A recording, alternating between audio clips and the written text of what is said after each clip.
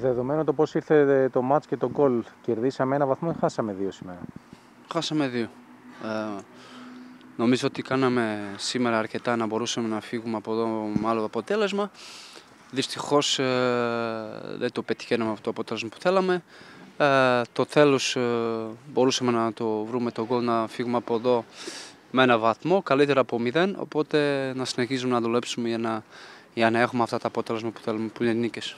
Τι φταίει πιστεύεις και πάντα το πρώτο παιχνίδι της ε, χρονιάς, της ημερολογιακής χρονιάς, πάει στραβά; Δεν ξέρω. Ε, νομίζω ότι από τη δουλειά δεν είναι, γιατί δουλέψαμε πολύ σκληρά αυτή τη βδομάδα. Ε, από το παιχνίδι σήμερα ε, νομίζω ότι ε, κάναμε αρκετά για να μπορούμε να φύγουμε από εδώ με άλλο αποτέλεσμα. Ε, δυστυχώς σε ευκαιρίες που είχαμε δεν μπορούμε να, να τις ολοκληρώσουμε σε γκολ.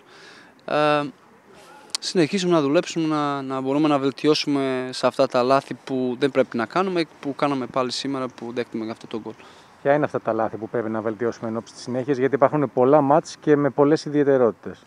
Ε, γιατί δεν μπορούμε να, να αφήνουμε τόσο μεγάλο χώρο πίσω μας. Ε, δεν μπορεί π.χ. ένας ε, back ε, του αντιπάλου να έχει τόσο χώρο μπροστά του να μπορεί να έρθει μόνος του και να, να μας κλείνει πίσω. Ε, πρέπει να βελτιώσουμε στην, ε, στο γυρισμό μετά από την επίθεση. Ε, ομαδικά όλα, σε όλα αυτό που λέω είναι πάντα ομαδικά, όλοι μας. Ε, και να συνεχίζουμε να δουλέψουμε αυτά.